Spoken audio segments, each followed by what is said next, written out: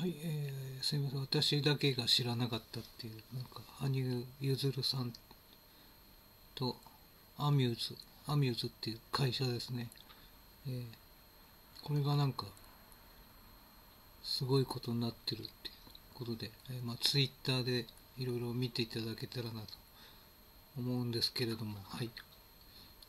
はいどうも、えー、すいません。失礼します。はい。